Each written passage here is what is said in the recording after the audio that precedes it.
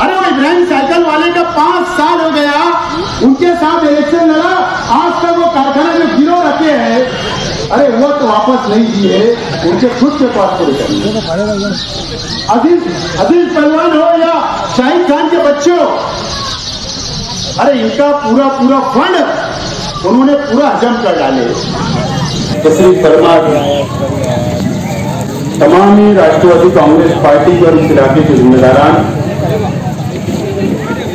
मेरे सामने मौजूद बुज़ुर्ग हजरात नौजवान साथी दोस्तों साथियों सबसे पहले मैं टीपू सुल्तान बाकर ग्रुप के तमाम ही नौजवानों का और न्यू मदनी नगर मदनी नगर और इस इलाके के नौजवानों का शुक्रिया अदा करता हूँ। जिम्मेदारान का शुक्रिया अदा करता हूँ। कि आज आप लोगों ने यहाँ पर मेरा और हमारे साथियों का इस्तेमाल किया?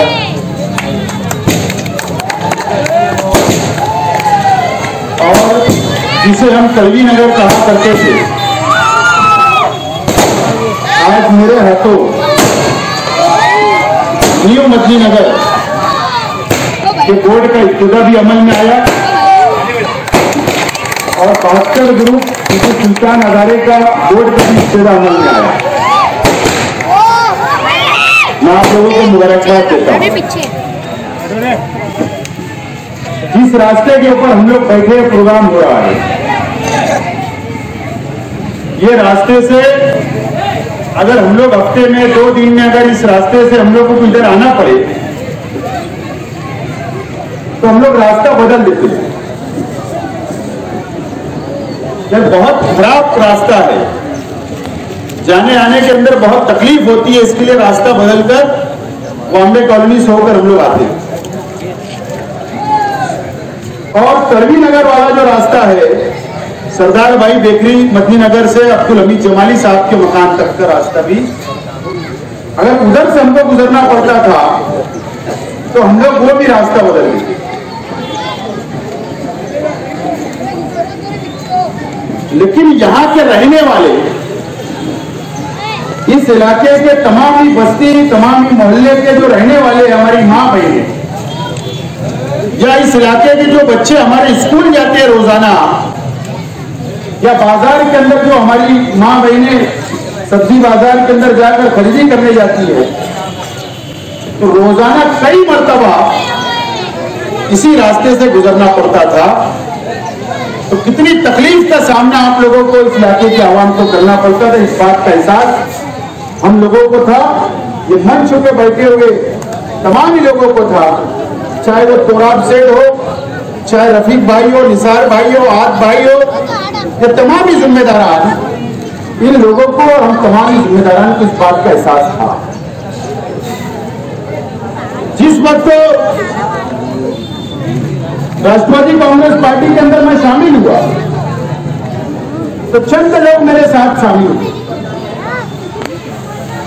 और मैंने जो वादा लिया था, अजीत दादा पवार साहब छगन भुजबल साहब से, कि मैं राष्ट्रवादी कांग्रेस पार्टी के अंदर आ रहा हूँ, लेकिन मेरी शर्त यह होगी कि गवर्नमेंट राष्ट्रवादी कांग्रेस पार्टी और कांग्रेस पार्टी और शिवसेना की है। आप करोड़ों रुपया मेरे अपने शहर को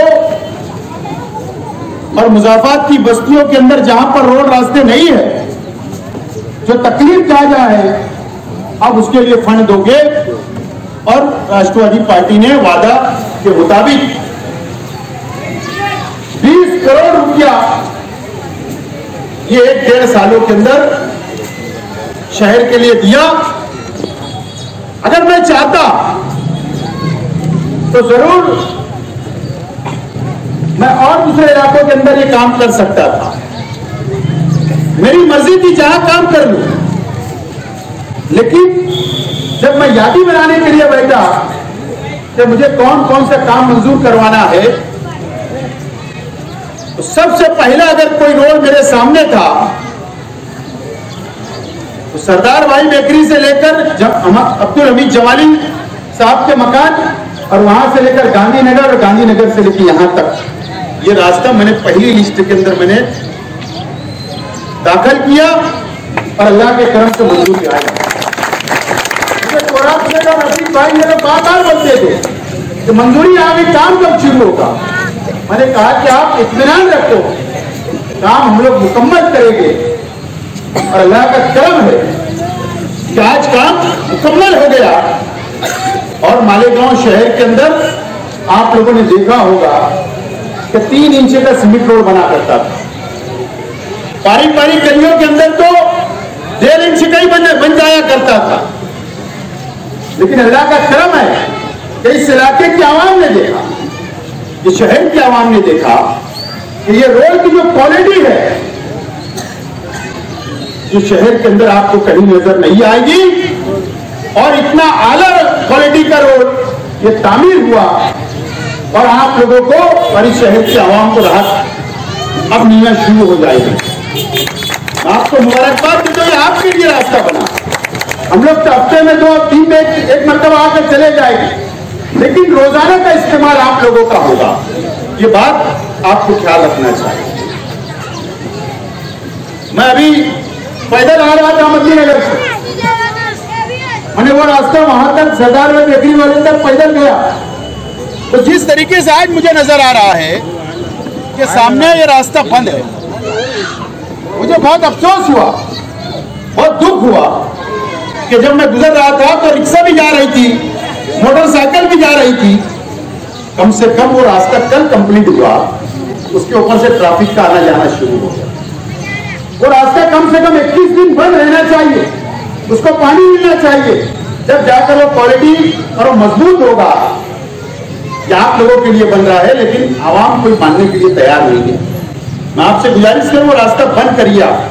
जिस तरीके से ये रास्ता आपने बंद किया। वो रास्ते के ऊपर भी तवज्जो देने की ज़रूरत है। बहरहाल मदनी नगर से गुजरना हुआ। मदनी नगर के कई साथी मुझको सलीम पटेल वाली गली का दौरा करवाया, ट्रांसफार्मर का दौरा करवाया, दोनों गली का दौरा करवाया। उसके बाद हमारे बहत्तर ग्रुप के तमाम नौजवानों ने रास्ते से सर्वे कराते हुए इस गली से मुझको यहाँ तक उन्होंने पहुँचाया। कई माँ बहने रास्ते में मिली।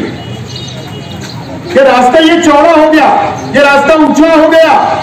अब पानी, बारिश का पानी अब गलियों के अंदर आ रहा है, मोहल्ले के अंदर आ रहा है। बिल्कुल इस बात का एहसास उनको है। मैं पूछ रहा था आप मेंबर से बैठकर कि ये जो नई बस्ती बसी है, इसके अंदर कितनी वोट लोगों ने बढ़ाई है? तो उन्होंने कहा कि कुछ पाँच सात सौ बड़ी होगी, ज़्यादा नहीं बड़ी। लेकिन एतराफ के रहने वाले मेरा मकसद ये नहीं था कि अगर आपकी मुकम्मल हो जाएगी तो मैं आपका काम करूँगा, ये मकसद नहीं था। असल में, इस मुल्क के अंदर अगर कोई सियासत, कोई भी पार्टी सियासत करती है, कोई भी लीडर हो, कारपोरेटर हो वो ये देखता है कि मैं यहाँ पर रोड बनवाऊँगा तो मुझको कितनी वोट का फ़ायदा होगा। वो मिजाज तो मैं नहीं हूँ। लेकिन आप वोट बढ़ाइए, जहाँ आप रहने आ गए, वहाँ पर वोट बढ़ाइए। कल फ्यूचर में अगर आप किसी को गटर बनाने बोलोगे, किसी को रोड बनाने बोलोगे तो आपका दबाव उस आदमी के ऊपर रहेगा कि नहीं, यहाँ पर ज़्यादा हो तो हमको यहाँ पर काम करना पड़ेगा। मैं आपके लिए बात बोल रहा हूँ। बहरहाल ये ज़मीन किसने बेचा? उससे मुझे कोई लेना देना नहीं है। मैं साफ़ अल्फाज में बोल रहा हूँ। चाहे ये बस्ती किसने बेचा? या बॉम्बे कॉलोनी के पास की बस्ती किसने बेचा? मुझे इससे कोई लेना देना नहीं। लेकिन इस एरिया वहाँ पर रहने वाले, यहाँ से लेकर वहाँ तक रहने वाले तमाम ही नौजवानों से मेरी अपील है। तमाम ही बुज़ुर्गों से मेरी अपील है कि जिस जो लोगों ने भी बेचा है उनको बुलाइए। कानूनी तौर पर बेचा गैर कानूनी तौर पर बेचा उससे भी मुझे कोई लेना देना नहीं है।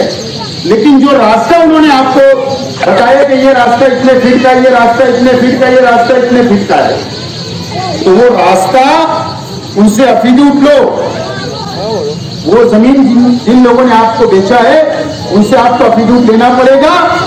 ये जो ज़मीन के, जो रास्ते के लिए हमने ज़मीन छोड़ी है, चाहे वो बड़ा रास्ता हो जम्मू स्कूल वाला, चाहे गलिया हो, वो ज़मीन का अफिडेविट ले लो। कि यहाँ पर कॉर्पोरेशन गटर बनाए, रोड बनाए पाइपलाइन डाले लैंप लगाए। जो भी तामीरी काम कारपोरेशन करेगी, हम कोई पैसा नहीं लेंगे और कोई डिमांड नहीं करेंगे, कोई केस नहीं करेंगे कारपोरेशन को हम मुफ़्त में जो ज़मीन काबू में दे रहे ऐसा अभिजुट तुमको लेना पड़ेगा। न तो पैसा तो कम पड़ने वाला है। अभी भी तुम्हारी वसूली चालू मुझे पता है। अभी कुछ माँ बहने बोल रही थी कि ज़मीन वाले आ रहे पैसा, बाकी पैसा तो हफ्तेवारी और तो आपको खाली कराया जाएगा।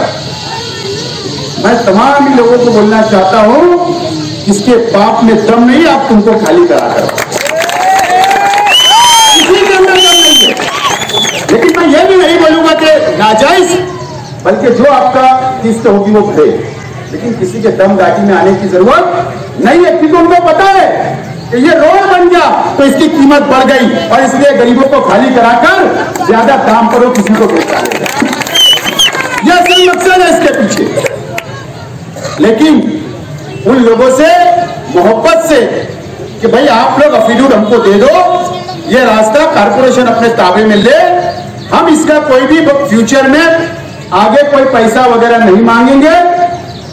इसके ऊपर कारपोरेशन जो भी तामीर काम करना चाहते हो, काम करे। ऐसा अफिडेविट टोटली लेना पड़ेगा। अगर वह ज़मीन मालक आपको नहीं देता है तो अगर सीधी उंगली से घी नहीं निकलते तो टेढ़ी करना हम लोगों को आता है। पहले आप पहल करो, बाद में मैं आपके लिए तैयार हूँ। वो आप ले लोगे। वो अफिडेविट आप ले लोगे। वो आप मेरे पास लाओ। आप, ठीक है, मैं ये नहीं बोलूँगा। कि मैं एक महीने में सब काम कर दूँगा। लेकिन इतना ज़रूर यकीन दिलाता हूँ कि आपका, चाहे वो रोड हो, चाहे वो गटर हो, हम लोग टप्पे टप्पे से आपके तमाम ही काम, तामीरी काम इस बस्ती के इंशाला मुकम्मल कराने की हम लोग कोशिश करेंगे। इस बात को आप लोगों से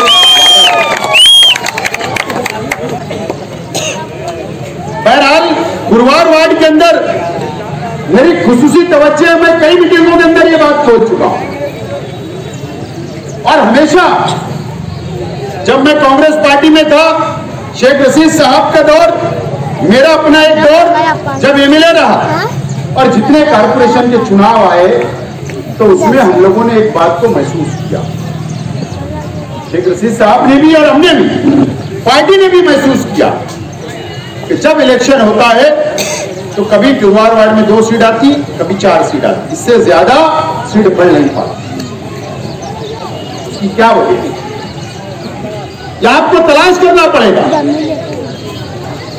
अगर 12 सीट होगी, तीन पैनल हो गए चार पैनल हो जाए। अब की हमको चार और तीन पैनल अगर हो गए तो तीनों पैनल, चारों पैनल हम लोगों को चाहिए। आप लोगों की ज़िम्मेदारी है। जो लोग दिनों पिटे चाहे सामने वाले वार्ड या ये वार्ड। हमने काम किया, हमने काम किया। तो जवाब मैं आज नहीं दूँगा। लेकिन आज इतनी गारंटी से बोलता हूँ कि उनके साथ कोई फाइनल बनाने के लिए तैयार नहीं कोई उनके साथ उम्मीदवारी करने के लिए तैयार नहीं है। अरे वो इब्राहिम साइकिल वाले का पाँच साल हो गया, उनके साथ इलेक्शन लड़ा। आज तक वो कारखाना में गिरो रखे हैं। अरे वो तो वापस नहीं दिए, उनके खुद के पास पूरे अज़ीज़ अज़ीज़ पहलवान हो या शाहिद खान के बच्चे? हो अरे इनका पूरा पूरा फंड उन्होंने पूरा हजम कर डाले। डील साजिक असेंबली के अंदर नज़र आए आपको। तो क्या आप उनको भूल जाओगे? अब आपको भूलना नहीं है। अब अब अपना वक्त आया है। अब इनसे बदला लेना है सियासी बदला। पंटरों से। बहुत खराब लग रहा मैं पंटर बोल रहा हूँ। क्या गलत बोल रहा हूँ? कोई लीडर है? मुफ्ती इस्माइल शेख रशीद साहब। और कौन लीडर है? ये बताओ ये पाँच सीट वाले पंटर नहीं तो क्या है? ये छह सीट वाले पंटर नहीं तो क्या है? ये पंटरगिरी असेंबली आता, इसकी पंटरगिरी कर ले, उसकी पंटरगिरी कर ले। कारपोरेशन का चुनाव आया तो ये बिरादरी की वोट के लिए इसका पैजामा पकड़ ले। ये बिरादरी की वोट लिए इसका पैजामा पकड़ ले। चून कर आ जाते और फिर कारपोरेशन के अंदर पाँच साल पंटरगिरी करते, मेरी बात का खराब क्यों लग रहा है? अगर शहरी लीडर मानते हो, कोई तो पाँच ज़िले का लीडर बोलता अपने आप को।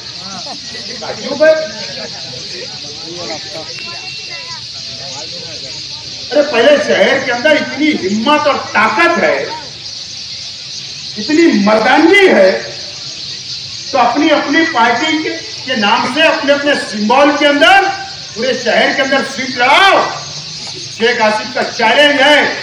और दो दो हाथ कर लो पंटर ही रहेंगे। इतनी हिम्मत कभी नहीं करेंगे पूरे सीट, पूरी अपने दम और खम पे लेने के लिए। कभी इसका सारा कभी इसका सारा ये चलते रहने वाला है। लेकिन आज मैं इस बात का ऐलान करता हूँ। इंशाअल्लाह, हम लोग हमारी ताकत के बलबूते इस शहर के वर्करों के बलबूते इस शहर की गरीब आवाम के बलबूते शहर में पूरी सीट लड़ाएँगे, हमारे दम पर लड़ाएँगे। आप गठबंधन बनाओ, महागठबंधन लगाओ, धरण बनाओ सौ भरण बना लो। लेकिन ये शहर की आवाम के बलबूते हम हमारे पैरों पर, हमारी ताकत के ऊपर खड़ा रहकर आपसे मुकाबला करने के लिए राष्ट्रवादी का वर्कर शेख रशीद साहब की क्यादत में तैयार है। इस बात को मैं ऐलान करता हूँ। और हालात इस देश के, इस मुल्क के बहुत खराब है। समझ के समझदारी से फैसला लेना होगा, ना मजहबी सियासत ना जज्बाती सियासत, नौजवानों को समझना है कि नुकसान किसका होता है। कोई तुमको अवेशी साहब ने ढाई साल में पूछा नहीं मदनी नगर वालों से कि आप सब क्या, आप ठीक हो? एमएलए ने काम किया? कभी आकर पूछे, ना कभी आपको पहचाने। ना कभी शहर का एमएलए आपको जानता है, ना पहचानता। है और ना ये पंटर लोग, ना आपके कभी और सुख और दुख में आएँगे लेकिन अल्लाह का करम है कि किसी भी वर्कर ने फ़ोन कर दिया कि फला के वहाँ दुख फला के वहाँ सुख, फला का ये काम तो ज़रूर, अगर हम नहीं पहुँचते तो ये जिम्मेदार ज़रूर। वर्कर लीडरान कारपोरेटर आपके हर वक्त में खड़ा रहने का काम करते ये तमाम चीज़ें आपको समझना है। और मैंने एक जुमला कहा कि लीडरशिप को मज़बूत करो पार्टी को मज़बूत करो तो आपके काम होंगे और आप भी मज़बूत होंगे। और ये लोग को पहचानो जो लीडरशिप को कमज़ोर करते हैं इन लोगों को पहचानने की ज़रूरत है। वक्त कहा गया इनको पहचानो और इनको जो पार्सल हैदराबाद से आया हैदराबाद भी जाओ कुछ लोग पार्सल इधर से आया उसको उधर भी जाओ।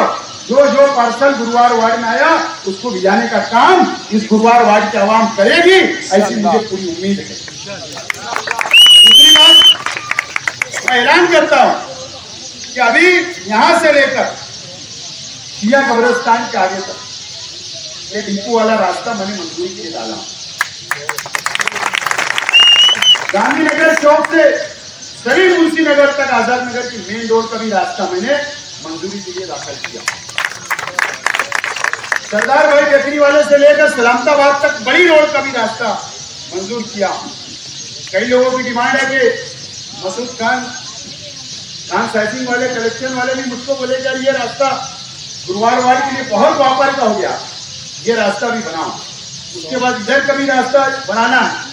ये तमाम ही रास्ते अंदर के मैंने देखा है, बड़ी रास्ते मदनी नगर के तमाम ही रास्ते हम लोग एक एक टप्पे से बनाएँगे। मेरी कोशिश जारी है। इनशाला वक्त वक्त के ऊपर तमाम ही रास्ते इनशाला हम लोग मुकम्मल करने की इस बात का यकीन दिलाता हूँ। और तमाम ही बहत्तर ग्रुप टीपू सुल्तान और तमाम अदारे वाले जो यहाँ पर इस्तेमाल किया तमाम लोगों का शुक्रिया अदा करता हूँ और मेरी बात को यही खत्म करता हूँ। शुक्रिया।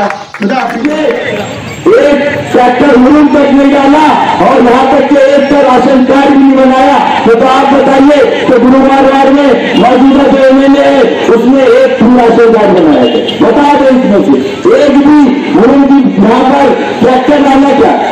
की मैयत में, किसी की शादी में, किसी के सुख में, किसी के दुख में वो हाजिर हुआ। लेकिन अल्ताफ भाई ने उनका काम किया, उनसे सवाल करने की बजाय आज हमारे उम्मीदवार सवाल कर आपको अपना बलिदान काटना चाहिए। आप तो आप खुद सवाल के घेरे में अल्ताफ भाई। आप किसको भी सवाल नहीं कर सकते। आप जवाब देंगे, आपको जवाब देना है और जवाब सेवा दल की टीम पूरी लेगी।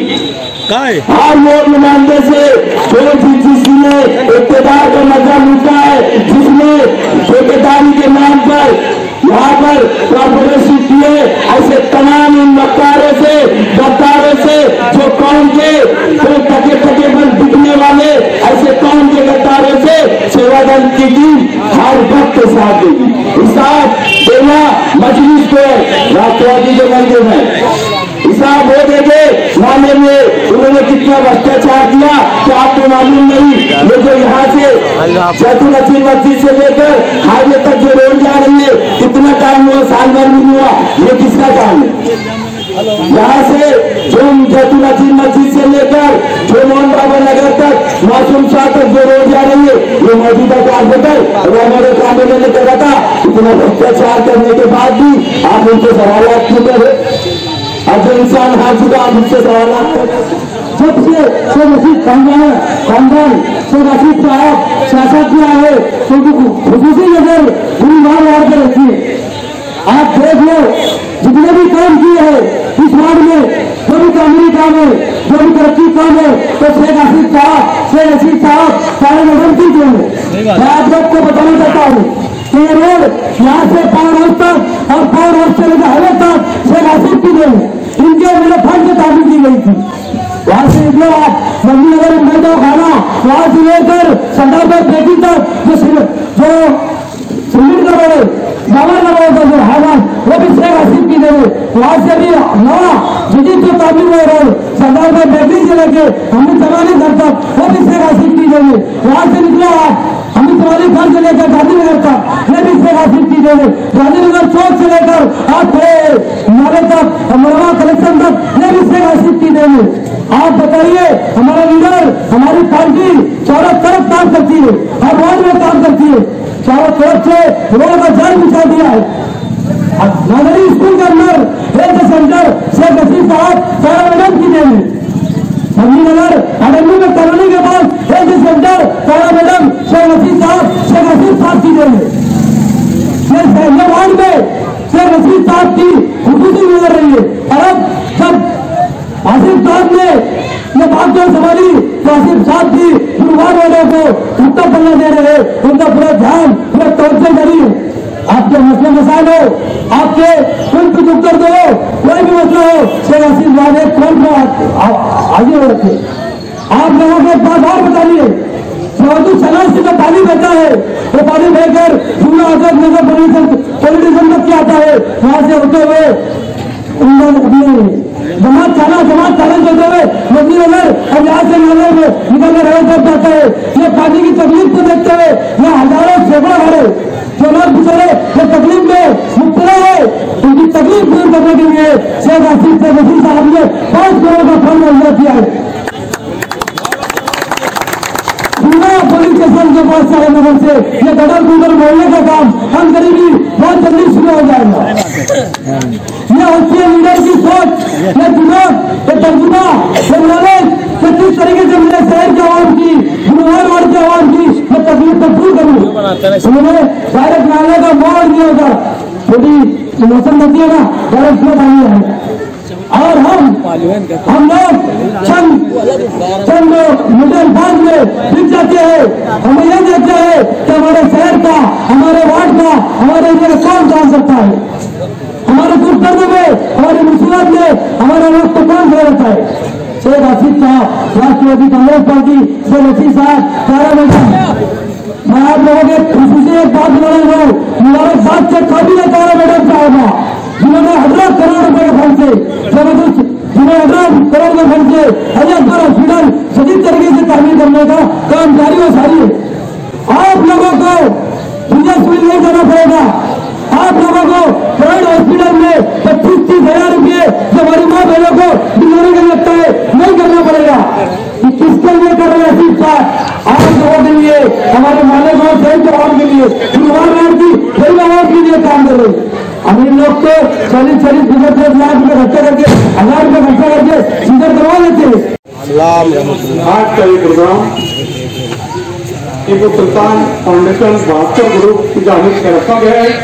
आज जिस रोड पर प्रोग्राम रखा गया है, ये को- ये रोड का काम मुकम्मल होने के बाद शेख आसिफ साहब को यहाँ पर बुला कर उनको खुला करने का जो प्रोग्राम रखा गया है। इसका मकसद ये है कि इस वार्ड के लोगों को ये दिखाया जाए, समझाया जाए कि काम क्या होता है और काम करने वाले कौन होते हैं।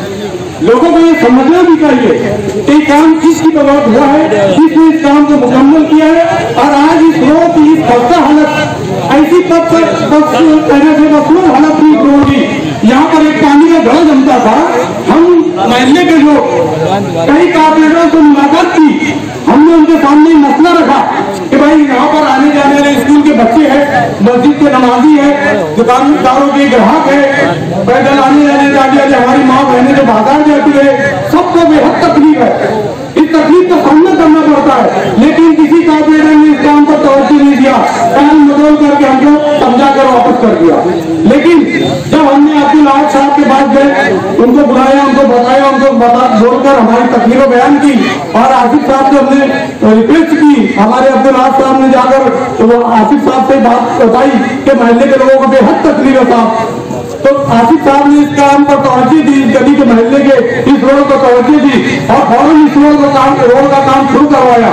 और ये रोड आज हमारे चलने लायक हुआ। आज इस रोड की वजह से हमारे महल्ले में रौनक आई है और हम चाहते हैं कि ये जिस तरीके से काम हुआ है, ऐसे ही महीने के अंदर ऐसे कारपोरेटर चुनकर दिए जाए जो इस महीने की रेगजेट कर सके, महीने के काम कर सके, महीने के जो हमारे बुज़ुर्ग हजरात है, जो हमारी माँ बहने हैं, उनको क्या तकलीफें होती है?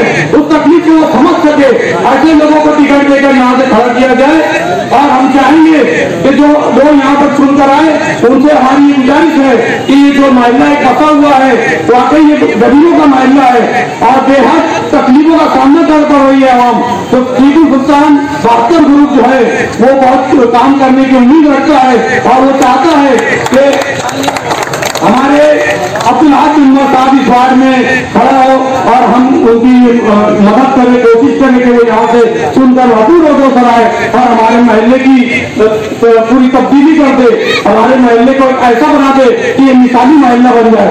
और ये सिर्फ़ आसिफ साहब ही कर सकते हैं। जितना मैं कहकर अपने दो शब्द खत्म करता हूँ। जय